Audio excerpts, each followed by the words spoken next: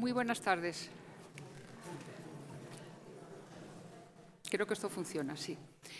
Eh, el estar en este estrado nos permite quitar esto a mí por lo menos un poco y lo agradezco mucho.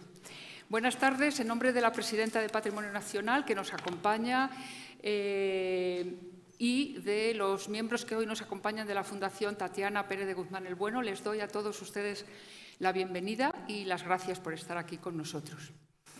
Eh, aprovechando la, bueno, esa iniciativa de mostrar uno de esos cuadros importantes de la historia de la pintura y de las colecciones reales, tan escaso en general eh, su producción en cualquier ámbito eh, conocido y más aún en España, que Caravaggio nos acompañe hoy a través de bueno, un ciclo que iniciamos con tres conferencias, pues eh, es una iniciativa que quiere celebrar el que nuevamente está cara al público, y con una presentación especial eh, que hemos pensado mucho eh, para que sea del agrado de todos los visitantes a la planta principal del Palacio Real de Madrid. Con este pequeño ciclo de tres conferencias que vamos a tener este martes y dos consecutivos más, iniciamos tímidamente, pero espero que ya con una asiduidad que les haga a todos ustedes invitados a, esta iniciativa, lo que vamos a llamar los martes en Palacio. Algo que les contaremos eh, un poquito más adelante, cuando hayamos cerrado este ciclo de Caravaggio, eh, pero que lo que pretende es eso, es ir desarrollando a partir de pequeños ciclos, mostrando algunos aspectos distintos de las inmensas colecciones de patrimonio nacional, pues que estemos presentes en la vida cultural eh, de Madrid de una forma, como digo, asidua. Hoy, que es el Día de la Mujer Trabajadora, es el Día de la Mujer, pues tenemos protagonismo femenino, incluso en la obra de Caravaggio, Salomé,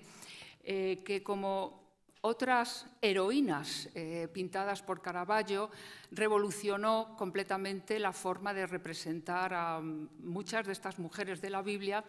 y convertirlas en mujeres poderosas y en mujeres eh, cuya presencia realmente, cuando Caravaggio se presenta en el panorama pictórico de la Roma de principios del siglo, fue realmente una convulsión, una revolución.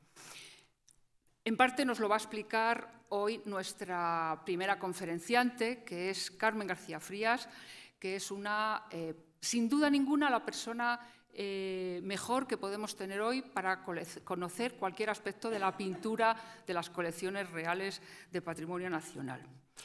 Eh, no voy a leer su extensísimo currículum, que amablemente me ha pasado resumido, y es un resumen tan extenso que les voy a hacer un nuevo resumen. Pero en cuanto la oigan hablar, van a comprender por qué es la que abre este pequeño ciclo eh, de tres martes.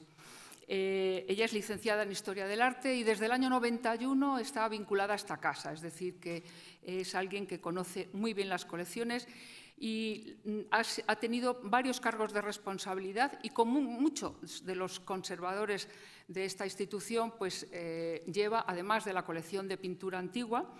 pues otras colecciones importantes o reales sitios de nuestra institución.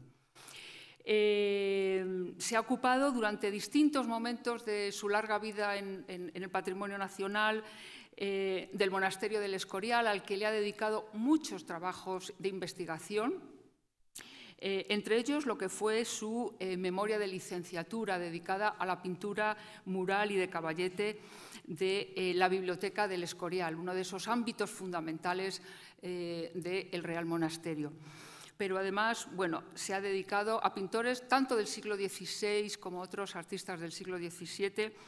y, como digo, pues, eh, tanto desde las publicaciones como su participación en exposiciones o su protagonismo como comisaria de varias, pues hacen de ella una persona fundamental eh, para conocer eh, pues, las colecciones pictóricas de patrimonio nacional.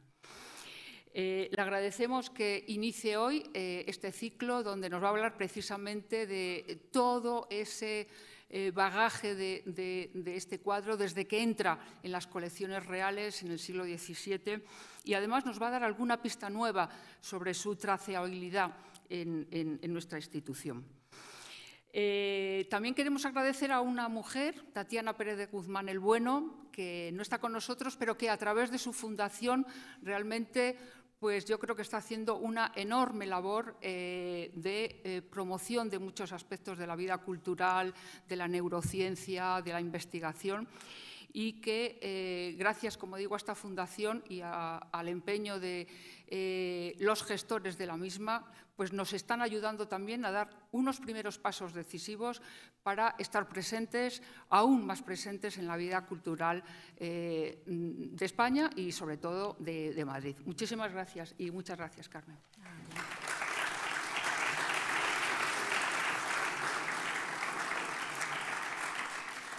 Creo, sí, eh, bueno, lo primero, agradecer las palabras tan generosas de mi directora de Colecciones Reales, con cual, a la cual me unen muchas cosas. Ha hablado de nuestra memoria licenciatura, la hicimos juntas de temas paralelos del Monasterio del Escorial. Por tanto, son muchos años de conocimiento y de, y de aventuras. Bueno, quiero, por supuesto, en primer lugar, agradecer a la Fundación Tatiana Pérez Guzmán el Bueno pues el patrocinio de este ciclo de conferencias y, por supuesto, a nuestra presidenta y otra vez a nuestra directora, que han hecho posible la celebración del mismo ciclo que ha surgido con motivo de esa nueva instalación expositiva que hemos hecho de Salomé con la cabeza del Bautista en, ese gabinete de, de, estucos de la planta principal del Palacio Real de Madrid. Es, como sabemos todos, una de las obras más interesantes de Caravaggio que existen en España. Cabría haber esperado de un artista como Caravaggio que había alcanzado ya el éxito profesional en Roma, que hubiera adoptado una vida más sosegada, pero ocurrió todo lo contrario. En esta última década de su vida, entre 1600 y 1610, hay abundantes noticias de las acciones violentas del artista. Pero a pesar de este comportamiento, fue su época más creativa y de mayor productividad. Es ahora cuando realiza sus composiciones religiosas más famosas, como esta Madonna de los Peregrinos de 1605 o esta Muerte de la Virgen de 1606 y también hará la Salomé del Palacio Real de Madrid. El 28 de mayo de 1606, tras dar muerte al mercenario Ranuccio eh, Tomassoni, con quien se batió a duelo tras una disputa eh, por un juego de, pala corda, que es como una especie como de juego de tenis, debe huir de Roma y, eh, tras refugiarse en diversos feudos de los Colonna, llega a Nápoles en septiembre de ese año. Durante su estancia napolitana, que va desde ese mes de septiembre a, unos pocos días antes de su muerte, el 18 de julio de 1607, da muestra de una gran entereza y a pesar de la dificultad de esos momentos tan tremendos vividos, nada se va a interponer en eh, la calidad tan superior de sus trabajos. La mayor parte de las obras de este periodo van a seguir siendo composiciones muy originales y de, verdadera grandiosidad, pero a medida que avanza el tiempo y se van multiplicando las contrariedades, porque si se lee detenidamente cómo fue la vida de Caravaggio, fue así, se advierte que sus obras se van haciendo con mayor rapidez y en unas condiciones de una mayor intranquilidad, lo cual va a repercutir en que sus últimas obras sean más desiguales. Nada más llegar a Nápoles ya le esperaban importantes encargos por parte de la alta nobleza, de embajadores o del propio virrey del momento, que es el, conde de Benavente, al que el doctor García Cueto dentro de 15 días pues, le dedicará una gran atención porque es uno de los grandes mecenas españoles, españoles de Caravaggio. También son clientes suyos ricos mercaderes. De hecho, el primer encargo en Nápoles lo recibe de uno de ellos, eh, Nicolò Radulovic, que era de Ragusa, que es hoy de Dubrovnik,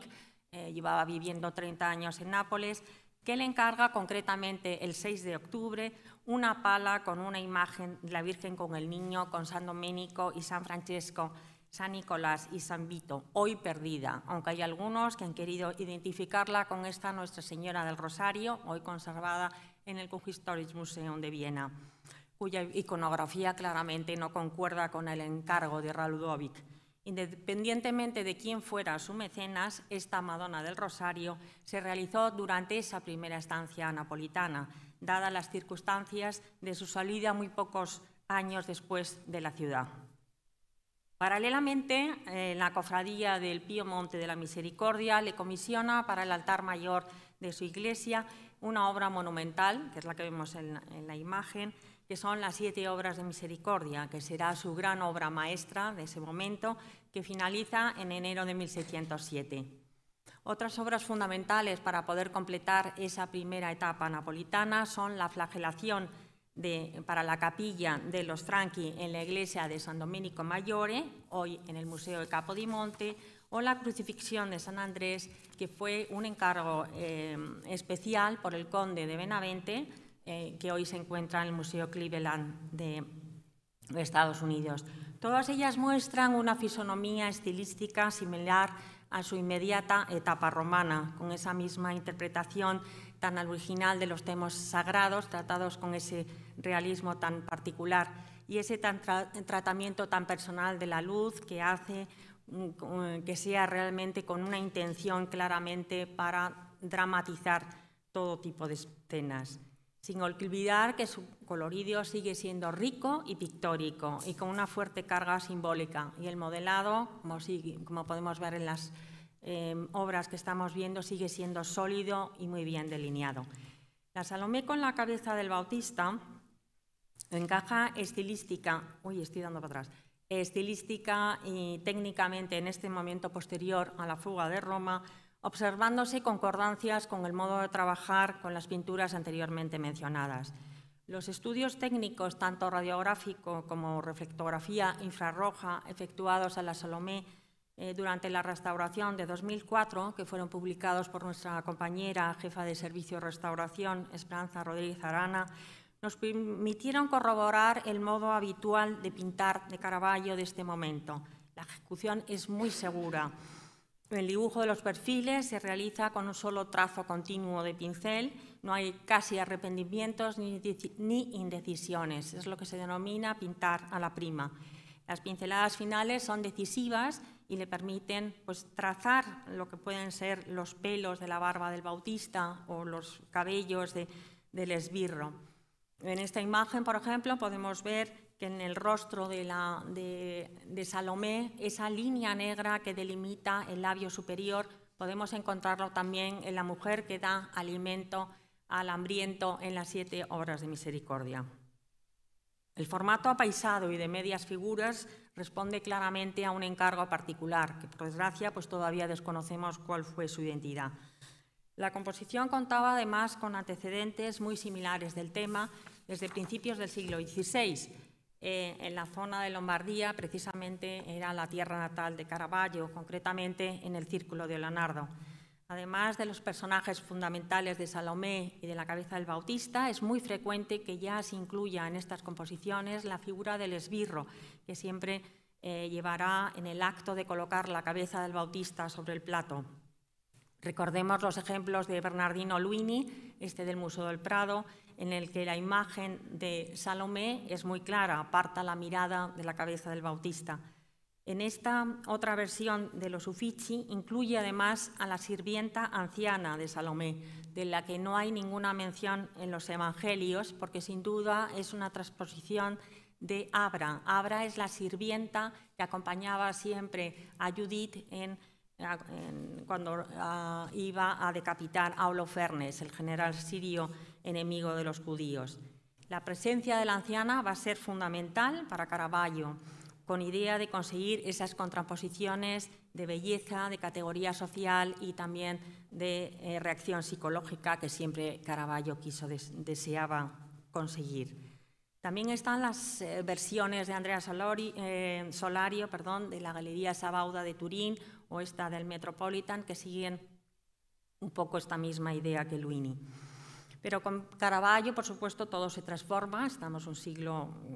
casi un siglo después, confiriendo a la escena pues, una sensación de inmediatez que le hace sumamente inquietante. La hermosa Salomé aparece pues, algo más madura de lo que suele ser habitual eh, y lo que nos lo hacen suponer los evangelios. Cuando se refieren a ella, nunca se refieren a ella por su nombre, sino como la hija de Herodías. Herodías era la mujer de Herodes Filipo I,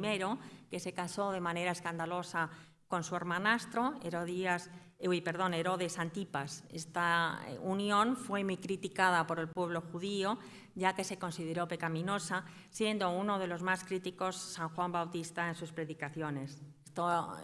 El, tema es claro, indignó a Herodías y fue la que pidió su ejecución. Creo reconocer el modelo físico de Salomé de Palacio en esta mujer que hace de criada en la negación de San Pedro, que hizo Caravaggio para la capilla de Alfonso Ferranoli en la iglesia de Santa Ana de Lombardi, hoy en el Metropolitan de Nueva York, durante la segunda estancia napolitana en el invierno de 1609 y 1610. Salomé sostiene, como es habitual, el premio de la venganza de su madre sobre una bandeja de peltre, pero lo que resulta novedoso es que dirige su mirada al espectador con ese aire indiferente, con una sonrisa imperceptible que le confiere pues, cierta concentración, eh, complejidad psicológica que puede dar a, una gran variedad de interpretaciones. El motivo de la cabeza del Salomé que se aleja de la bandeja recuerda la de la portentosa Salomé que hizo Tiziano para, eh, que hoy se encuentra en la Galería Doria Panfili de Roma, pero que en aquel momento estaba en la colección Salviati y por tanto Caravaggio pudo tener la oportunidad de conocerlo.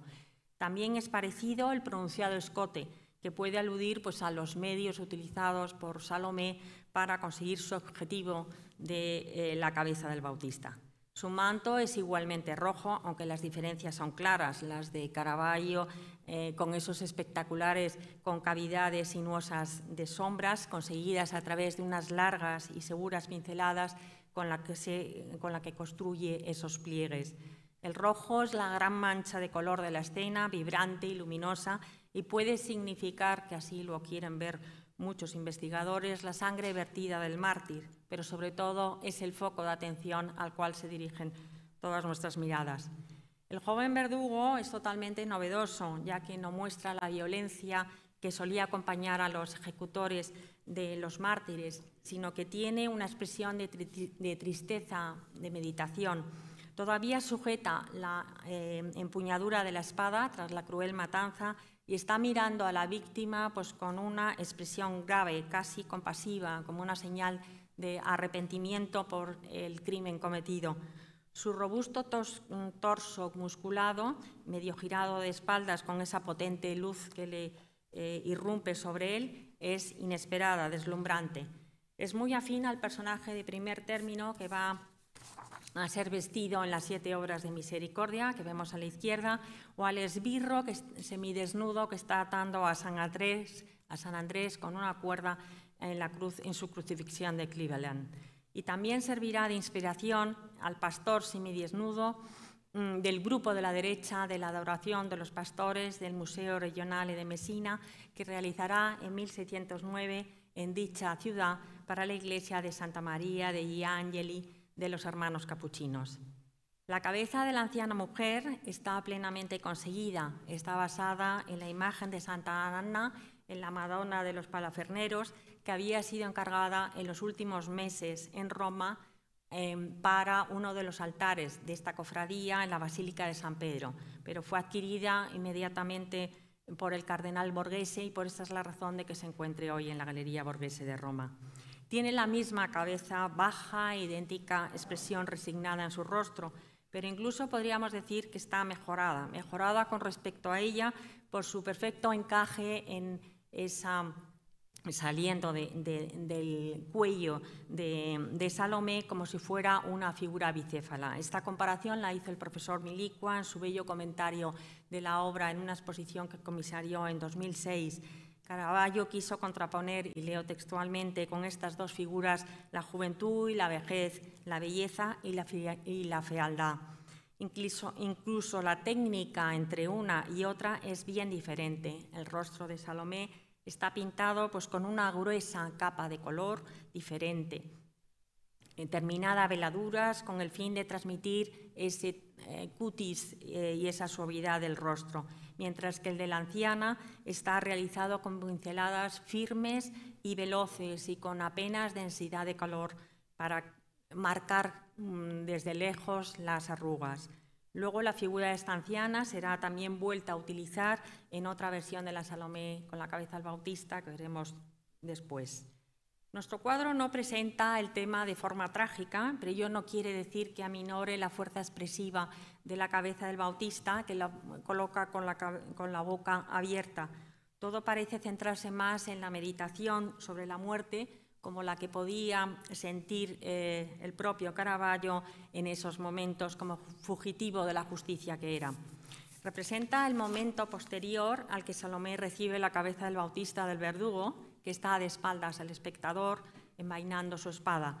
Resulta tremendamente inquietante la presencia de ese gran vacío, que lo resaltamos siempre porque se extiende a la izquierda de Salomé, que además es de donde proviene toda esa fuerte iluminación que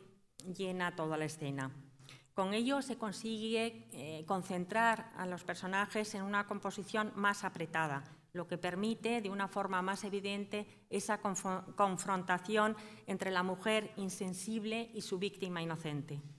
Durante la última restauración efectuada en 2015 por Rafael Alonso, se vio que el fondo oscuro había sido ennegrecido intencionadamente con la idea de que las figuras tuvieran más contraste. La aparición de unas tonalidades verdosas, oscuras sobre el fondo, pues ha permitido que las figuras estén más integradas en su conjunto.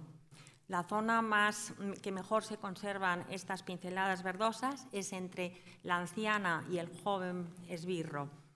El color rojo del manto también recuperó su tono original y su volumen parece impecable, ya que se conservan de forma bastante íntegra las lacas rojas que eh, se utilizan en las sombras.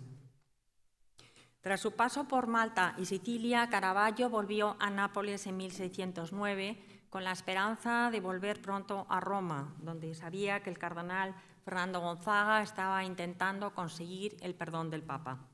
Según Giovanni eh, eh, Pietro perdón, Bellori en su Vite de Pintori y Scultori, que fue publicada en 1672, Caravaggio, durante su segunda estancia en Nápoles, que va de octubre de 1609, especificamos mucho las fechas porque esto transcurre en apenas dos años, ¿no? Hasta pocos días antes de su muerte, el 18 de julio de 1610, envió como regalo al gran maestre de la Orden de Malta, Alof de Wingakurt, un cuadro, como vemos en la imagen, de media figura de, de Herodías con la cabeza de San Juan en la bandeja, con el propósito de calmar su indignación, porque recordemos que Caravaggio había herido eh, gravemente a un caballero de Malta en una de sus discusiones y tuvo que huir precipitadamente de la isla de Malta. Eh, por la descripción podría encajar perfectamente con esta versión del palacio y por eso algunos como Longhi en 1927, Friedberg, Marini o Ferdinando Bologna propusieron identificar la Salomé de Palacio con ella, lo que suponía una datación en los últimos, muy últimos meses de la vida del autor. Pero el hallazgo de otra importante versión original de Salomé con la cabeza del Bautista de Caravaggio va a obligar a, replantearse la ordenación cronológica. Esta obra fue dada a conocer por Roberto Longhi en 1959, cuando todavía se encontraba en una colección privada suiza y ya en 1970 sería comprada por la National Gallery de Londres por recomendación de Dennis Mayon. Hoy son pocos los que dudan de que la obra citada por Bellori corresponde mejor con la versión de Londres, cuya gama cromática dominada por esos tonos pardos, eh, carnaciones blancos y negros, pues eh, em, está más encuadrada en las últimas obras de sus momentos más tardíos. Desde el punto de vista temático, la versión de Londres también es una variante, la de Madrid, Utiliza esos mismos cuatro personajes, pero eligiendo el momento inmediatamente precedente del episodio de la de Madrid, estando más vinculada a esas versiones eh, lombardas cincuentescas que hemos estado hablando anteriormente, que eran tremendamente difundidas. El verdugo no es el joven de la versión de Madrid, sino que presenta la, actual la habitual eh, fisonomía que presentan los esbirros, eh, siempre en todos los martirios de, los santos. Su rostro es muy parecido al de esbirro de la flagelación de Capodimonte. Está depositando la cabeza del Bautista sobre el plato y el eh, horror dramático viene amplificado por esa posición de la cabeza del Bautista agarrada por los pelos. Em, el brazo en escorzo recuerda al de David eh, con la cabeza de Goliat, que perteneció al cardenal Borghese, que hoy, Scipione Borghese, que hoy se encuentra en la Galería Borghese de Roma. La Salomé es otro modelo, por supuesto lo, hemos visto claramente, pero también es de una gran fuerza expresiva. Sin embargo, la anciana sí que es la misma mujer, incluso con la misma disposición de cabeza. La versión de Londres no está documentada a lo largo de sus cuatro siglos de historia, pero su presencia y el paso por Nápoles parecen indudables, porque existe una copia de la que no tengo imagen y siento no mostrarla, una copia casi exacta en la abadía de Montevergine, cerca de Avellino, que está a 40 kilómetros de Nápoles y está descrita desde el 600. En Madrid también debió existir otra Salomé relacionada con el mundo caravallesco. Así nos lo hace saber Antonio Pons en 1776 en su tomo quinto de su viaje de España, cuando describe en este convento madrileño de San Pascual Bailón, que hoy en día está en el Paseo de Recoletos, muy cambiado porque fue transformado en la segunda mitad del siglo XIX de una forma muy radical, había un cuadro con la siguiente descripción. La cabeza de San Juan Bautista presentada a Díaz en que se nota la manera de Miguel Ángel de Caravaggio. Este convento había sido fundado en 1683 por, el, décimo almirante de Castilla, hijo de Juan Alfonso Enrique de Cabrera, que es uno de los eh, nobles que más eh, eh, ayudaron a conseguir obras para Felipe IV. Como indica la doctora María Cristina Terzaghi, que tendremos el honor de tenerla la semana que viene, la existencia de numerosas interpretaciones del tema por pintores coetáneos eh, de Caravaggio residentes en Nápoles en esos primeros decenios del Seicento hacen bastante difícil pensar eh, que la versión de Palacio pueda ser la enviada a Malta en 1609. Recordemos que el paso de Caravaggio por, eh, Nápoles fue muy breve, pero dejó una influencia tremendamente decisiva en muchos de sus pintores, sea cual fuera su formación. Todos ellos se inspiraron, la mayor parte de ellos se inspiraron en sus obras, tanto estilística como técnicamente, y alcanzando un gran éxito entre la clientela napolitana. Uno de los más importantes seguidores de, Caravaggio es Giovanni Battista Caracciolo. Tuvo una verdadera obsesión por el tema de Salomé con la cabeza del Bautista. Ahora les voy a mostrar tres versiones, pero hay más eh, sobre el tema y todas ellas muestran el conocimiento de las dos versiones de Caravaggio. El ejemplar más eh, temprano de que está en los Uffizi parece responder a la versión de Palacio, mientras que el del Museo de Bellas Artes de Sevilla resulta más cercana a la de Londres por esa tonalidad más terrosa y la gestualidad de los protagonistas. Mientras que la bella tela de colección mm, privada de Nápoles, también de Carracciolo, tiene influencia de los dos originales del maestro. La Salomé es una jovencita descarada, bellamente vestida, con tonos violetas y verdes, que mira descaradamente ¿no? al espectador, un poco como la versión de Madrid. Mientras que el, esbirro, levantando la cabeza del bautista con los pelos, es semejante a la de, la de Londres. Ecos del lienzo madrileño también se observan en la versión del flamenco Louis Fisson, que vivió en, Nápoles entre 1600 y 1613. Es muy famoso pintor, hoy en día está puesto muy, siendo muy valorado porque es el, que realiza gran cantidad de copias de Caravaggio y a través de él se conocen composiciones perdidas de Caravaggio, eh, dado que la clientela demandaba este tipo de composiciones desde luego, la composición es, diferente, las figuras son de cuerpo entero y no de medias figuras, como la de Caravaggio, pero están los tres personajes principales en las mismas actitudes y, por supuesto, la gran variación de presentar a San Juan Bautista en el centro con el esbirro. También están basadas en Caravaggio, este ejemplar de Andrea Selito, de la colección del estudio Crinelli de Roma, o las dos versiones de Máximo Stanzione, esta de colección privada, o también más aún esta de la Art Gallery Manchester, en la que aparecen todos los elementos característicos que hemos visto en las escenas de Caravaggio, con la eh, salvedad de ese joven que se asoma por la, eh, por la ventana, que está tomado de una de las composiciones de Carracciolo. Aquí todos los pintores toman los elementos y lo disponen de una forma variada. En la versión con la figura única de Salomé, de antiveduto de la gramática de colección privada que dio a conocer el profesor Milicua, se observa que la postura de la joven es casi idéntica a las versiones de Caravaggio, así como la posición de las manos a la hora de sujetar la, bandeja. 50 eh, años después de su ejecución, tenemos por fin noticia de su aparición documental en un inventario de pinturas del segundo conde de Castrillo, que publicó en 1994 eh, Belén Bartolomé en el Boletín Nacional del Prado. El inventario se realizó durante el mandato de Castrillo como virrey de Nápoles, que va de enero de 1653 a diciembre de 1658, concretamente en enero de 1657, lo que, eh, lo que, nos indica que posiblemente se redactó con motivo de la terrible epidemia de peste que asoló la ciudad en 1656 y posiblemente con ocasión del regreso a España de la condesa, que conocemos a través de la correspondencia entre el matrimonio Castrillo. Dicha correspondencia, así como el inventario de 1657, se encuentran en el archivo abulense del actual conde de Castrillo y conde de Orgaz,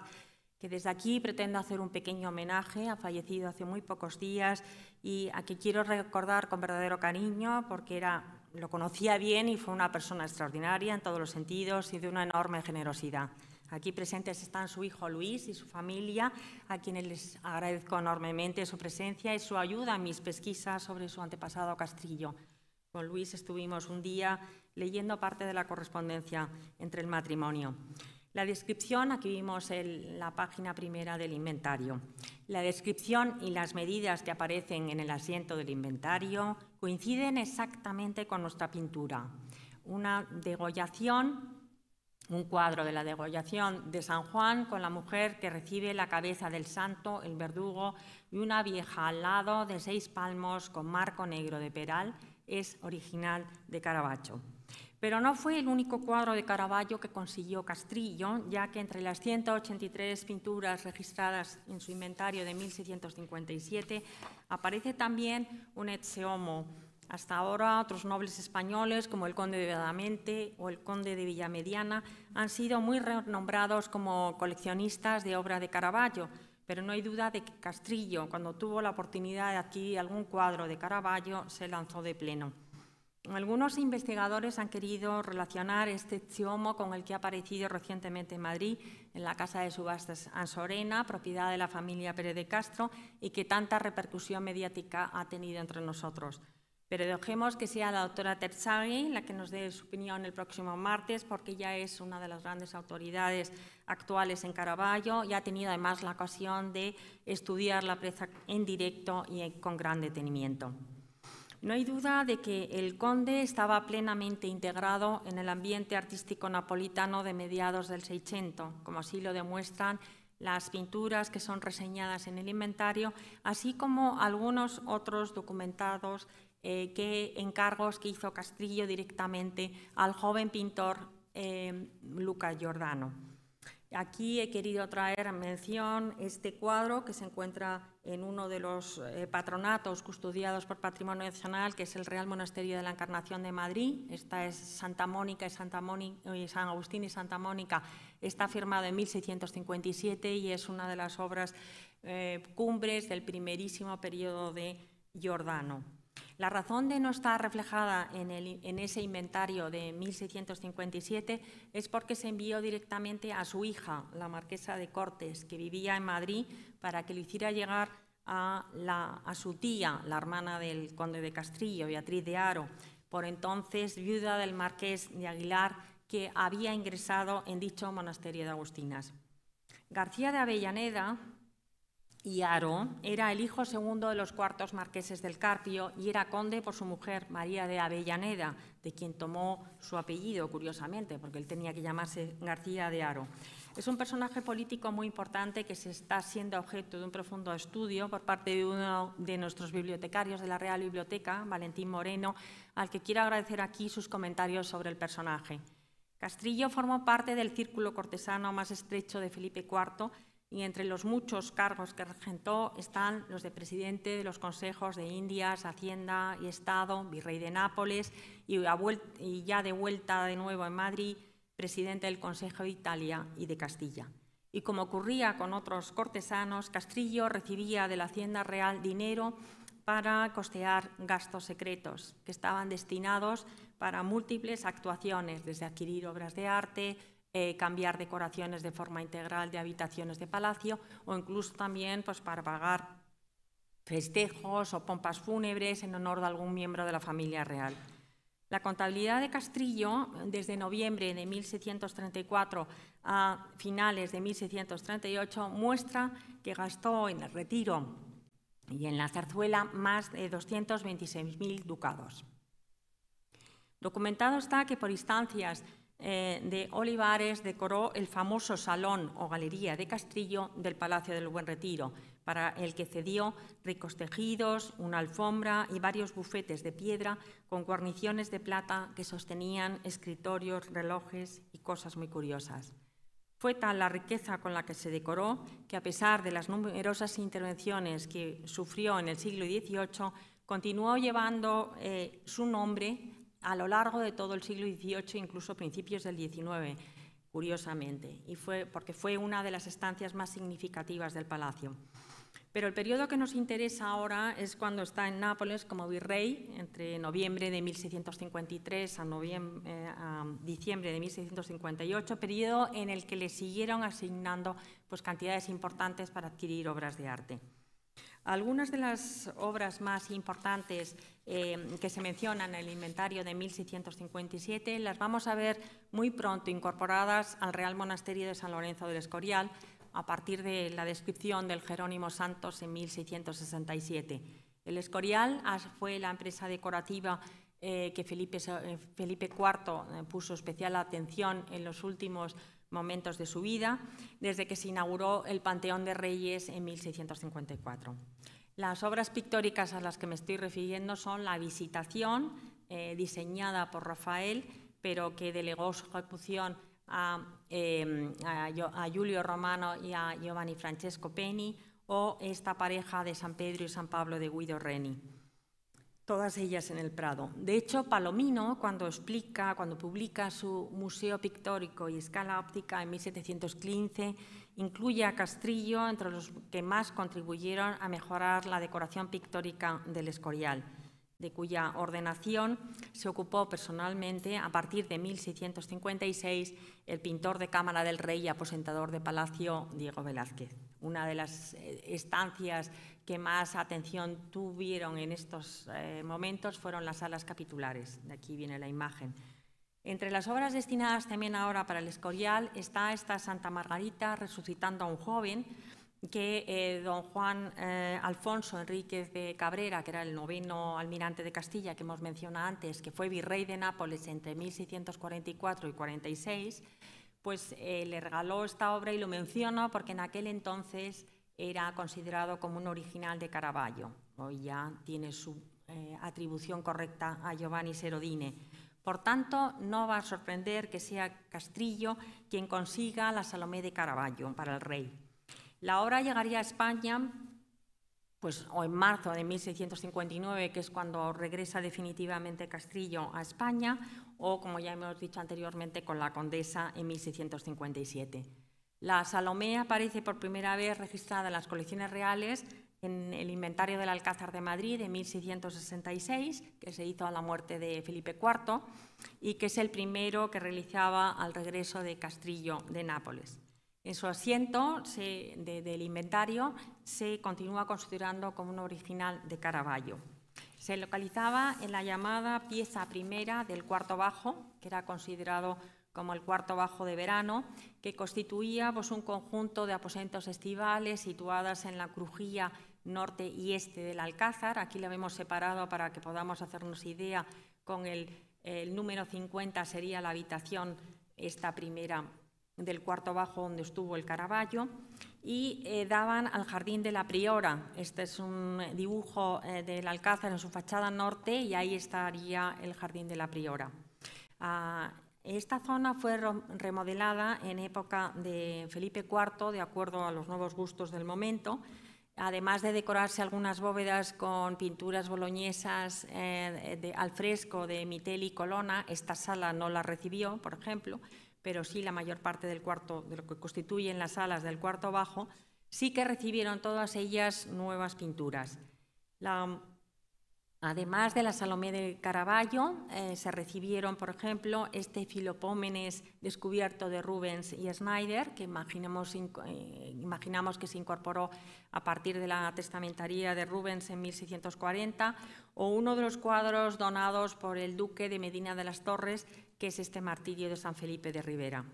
El conjunto debió completarse en 1664, cuando se adquirieron al marqués di Serra di Casano un Apolo y Marcias de Rivera, que desapareció en el incendio del Alcázar, o esta Herminia los Pastores de Luigi Scaramuccia. Eh, los sucesivos inventarios del Alcázar de 1686 y en la testamentaría de Carlos II de 1701 nos confirman que la Salomí sigue estando en el mismo lugar y con la misma atribución. Tras la muerte de Carlos II, con la llegada de Felipe V y de María Luisa Gabriela de Saboya, el Alcázar de Madrid va a sufrir algunas intervenciones decorativas y de las poquísimas noticias que tenemos está la selección de una serie de pinturas de este cuarto bajo de verano para ser llevadas al cuarto nuevo de la reina, de la reina María Luisa Gabriela de Saboya, porque el documento está firmado en 1703. En ella se va a encontrar nuestra obra, lo que significa que vuelve a tener pues, cierto interés por contar con ella. Tras el terrible incendio del Alcázar en la Nochebuena de 1734, es una de las pinturas salvadas y llevadas a las casas del marqués de Berman, que estaban muy cercanas al edificio del Alcázar. ¿no? Em, perdiendo por primera vez la eh, atribución a Caravaggio. Ahora se la califica en este inventario de pinturas de 1734 como copia de mano no conocida. De esa forma también es mencionada en 1747 en el nuevo inventario de la Furriera con las pinturas rescatadas que ya se situaron todas en las casas arzobispales, que es un inventario que se hizo a la muerte de Felipe V. Hasta ahora la obra de Caravaggio se había definido como una degollación del Bautista, pero ahora se va a empezar a denominar Herodías eh, recibiendo la cabeza de San Juan degollado.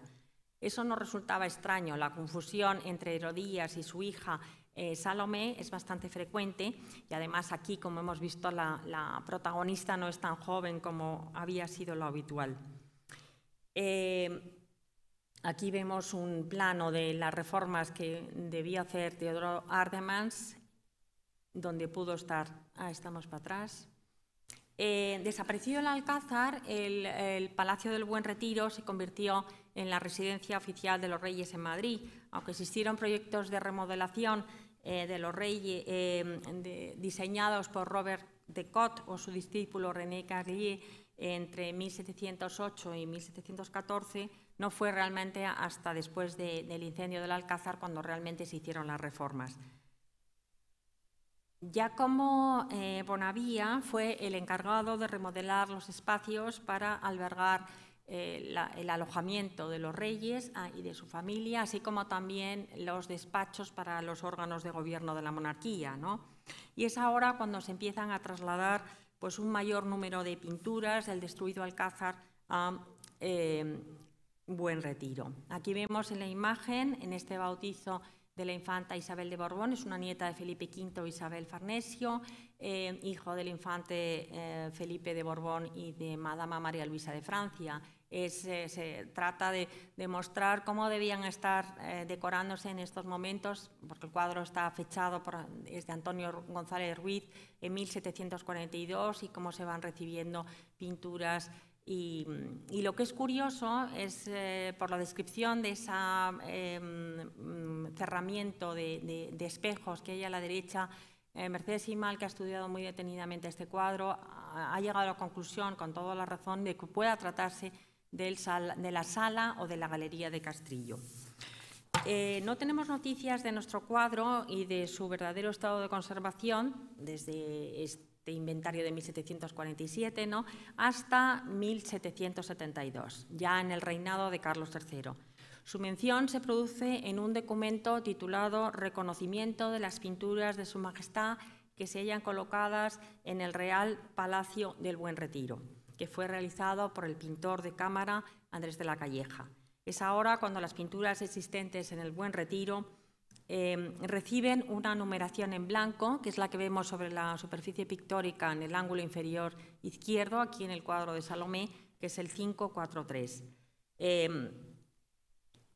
por el apartado donde se, eh, donde se, describe en este documento es bastante curioso porque lo pone en la sección de pinturas, entre comillas, maltratadas, es decir, aquellas que todavía no habían recibido una restauración después del incendio. Pero el pintor Calleja consideraba que podría ser eh, entre las que podían ser recuperadas y compuestas. A juzgar por el estado actual de, conservación de, la obra y la revisión de sus análisis técnicos, podemos considerar que eh, realmente sus deterioros no fueron tan graves, sino que simplemente se fue dejando su restauración por preferencias con otras pinturas. La orografía podemos ver las, lagunas debidas a pérdidas de pintura. Se concentran pequeñísimas eh, lagunas tanto en el rostro como en el escote de, Salomé, siendo em, la, señalada con la flecha esa rotura que hay encima de la cabeza de San Juan, donde existen mayores pérdidas de pintura,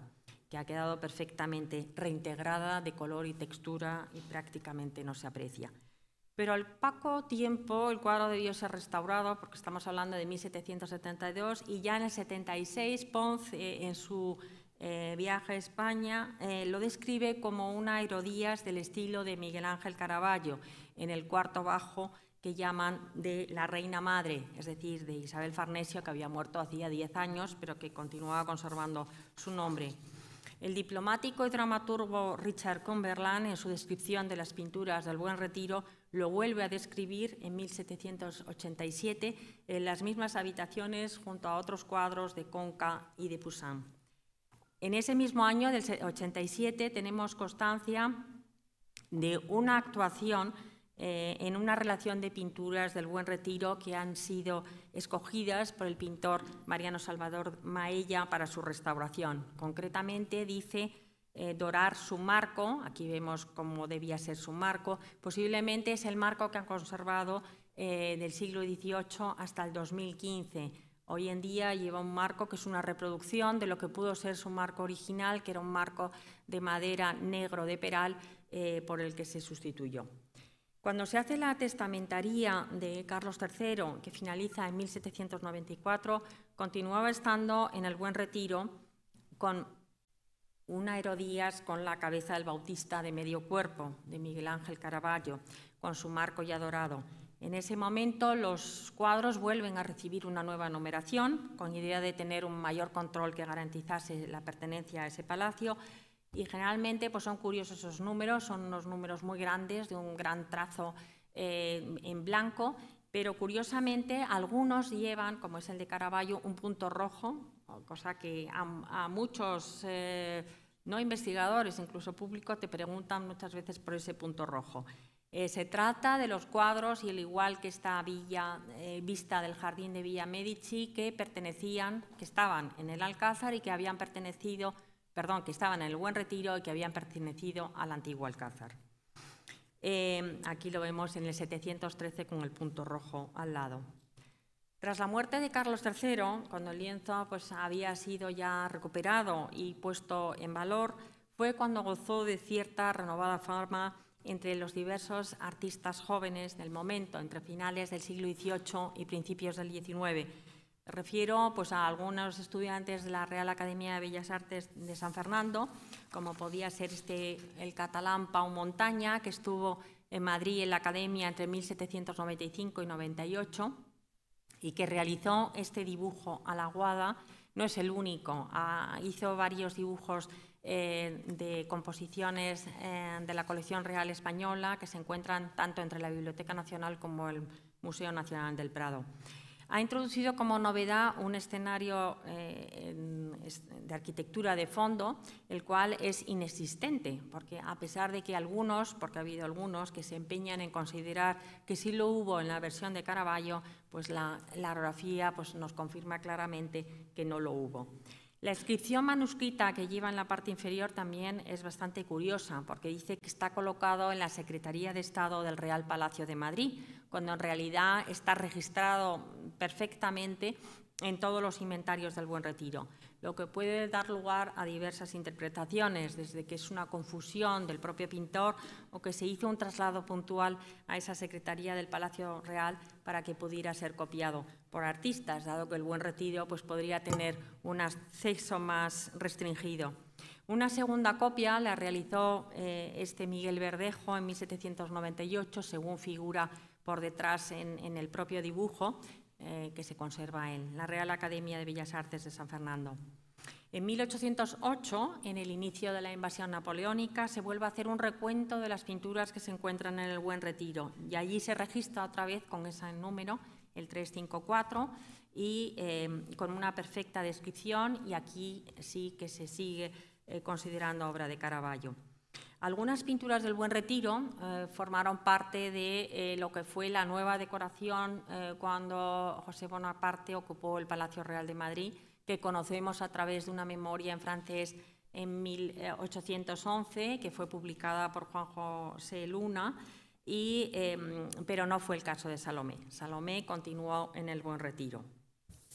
Por tanto, hasta ahora se ha venido considerando siempre que el cuadro había permanecido en el Palacio Real de Madrid desde que se termina el palacio e instala Carlos III en el mismo, pero a palacio ya realmente no llegó. No llegó hasta 1814, que es la primera vez que se menciona realmente eh, estar aquí, que es en el cuarto, en una sala que realmente es un almacén. Es el cuarto del capitán de guardia, que eh, se utilizó como almacén en el que aparecían obras de todo tipo de, una, eh, de un gran interés, como por ejemplo se puede localizar claramente estos dos retratos de Louis-Michel Van Loo. Allí estaban almacenados em, junto a otras habitaciones que podemos ver, porque claro, el estado de conservación del Buen Retiro tras la invasión napoleónica eh, hizo que rápidamente todos sus bienes tuvieran que ser desalojados y llevados rápidamente a Palacio Real de Madrid.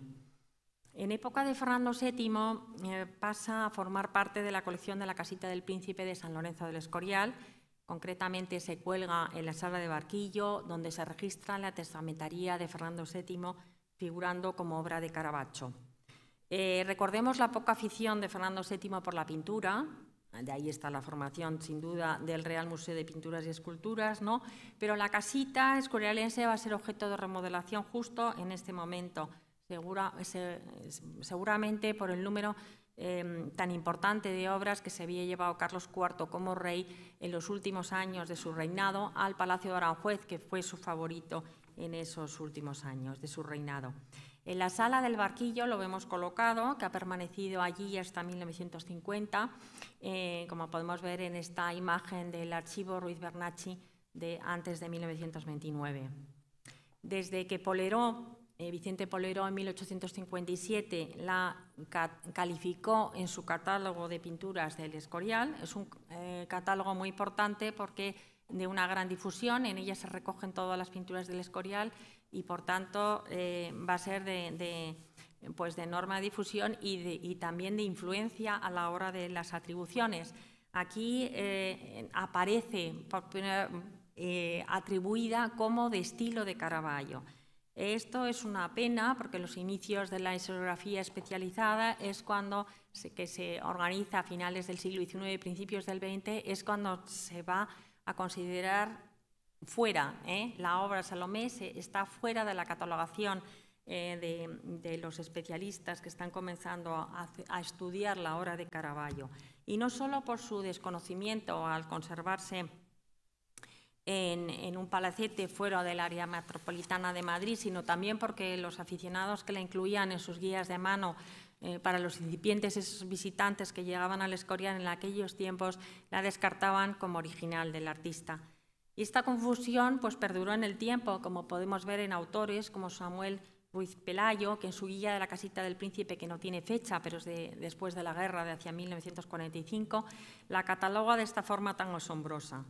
Cuadro de autor anónimo que imitó el estilo de Miguel Merisi de Caravaggio y como de este autor le citan algunos autores. Y ello a pesar de que el renombrado Roberto Longhi ya en 1927 la había declarado, había declarado la Salomé del Escorial como un certo fierissimo originale eh, degli anni extremi del maestro. En 1950 se llevó a Palacio para ser restaurada. Aquí tenemos una imagen sobre Caballete, posiblemente antes de su intervención. El motivo de su restauración es que iba a participar en la importante mostra de Caravaggio y de Caravaggeschi que iba a celebrar en Milán en 1951 Longhi. Allí tuvo la oportunidad de poder ser por fin reconocida por toda la historiografía especializada. De vuelta a Palacio, ya se quedó definitivamente en el Palacio, siendo expuesta en las salas eh, museográficas recién abiertas al público. Aquí tenemos una imagen de la guía de Matilde López Serrano de 1960, en la que se ve que está en el tranvía eh, junto al Salón Gasparini. A partir de este momento ya se ha expuesto siempre aquí en Palacio, en distintas dependencias. Aquí esta imagen la, vemos cuando la dispusimos en la Galería de Pintura en el año 2006 o en nuestras exposiciones de las obras maestras del Seicento italiano en las colecciones de Patrimonio Nacional de 2015, que comisarió Gonzalo Redín y se celebraron en el Palacio Real de Madrid y en las escuderías del Quirinale de Roma o en esta última, que es la última exposición en la que ha participado, en Nápoles, en el Capo di Monte, en Caravaggio, Nápoles, se llamaba así, que fue comisariada por la doctora, por la profesora Terzaghi. Y la vemos haciendo pendant pues, con la, de, la versión de la National Gallery y, todo, alrededor están distintas versiones de Salomé. Era una sala muy bonita, yo tuve la oportunidad de ir a verla y la verdad que mereció la pena. Hoy se exhibe con gran protagonismo, como han visto muchos de, ustedes en el gabinete de estuco de este Palacio de Madrid para disfrute de todos nuestros visitantes. El montaje es realizado por, por, el arquitecto y diseñador Paco Bocanegra, quien está aquí también presente, darle la enhorabuena por, eh, junto con el Departamento de Exposiciones nuestro de Patrimonio Nacional, que han hecho una labor tan, tan bella. Y será, por supuesto, pieza clave de nuestro Museo de Colecciones Reales en el reinado de Felipe IV, en ese subámbito dedicado a la decoración de ese, de ese palacio tan enigmático y misterioso que fue el Alcázar de Madrid. Muchísimas gracias por su atención.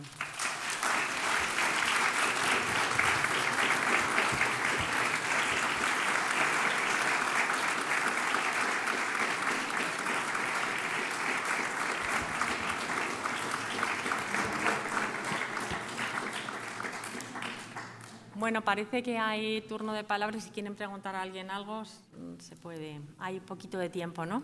Para hacerlo. O si Leticia también nos quiere acompañar.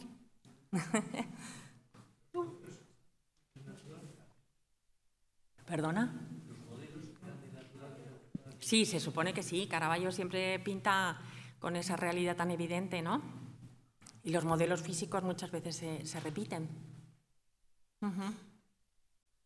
Incluso hay modelos que comparte con otros pintores en Roma eh, que, que, están en cuadros de otros artistas, con lo cual suponemos que, bueno, pues que eran esos eh, personajes que pululaban por eh, la cotidianidad del pintor. ¿no?